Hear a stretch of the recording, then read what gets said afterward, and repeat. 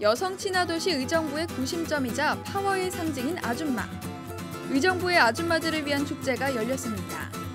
지난 20일부터 이틀간 시청 앞 야외 상설 무대에서 세상을 움직이는 아름다운 힘 2014 글로벌 의정부 아줌마 축제가 개최됐습니다.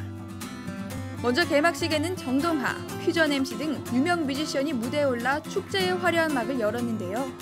환상적인 불꽃놀이도 어우러져 흥을 더했습니다.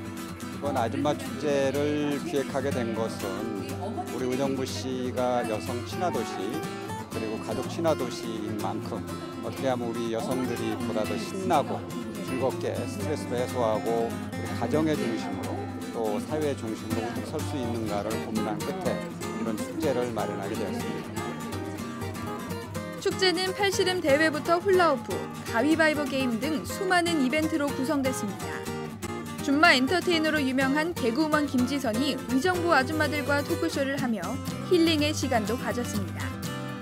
이외에도 각종 홍보 부스가 마련돼 방문객들의 눈길을 사로잡았는데요. 현장을 찾은 시민들의 얼굴에는 즐거움이 가득했습니다.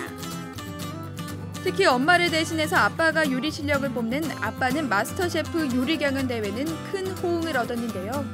아빠들은 대회가 시작되자 여느 요리사 못지않은 실력을 뽐냈습니다. 이번 2014 글로벌 의정부 아줌마 축제에서 아줌마 파워를 새삼 엿볼 수 있었는데요.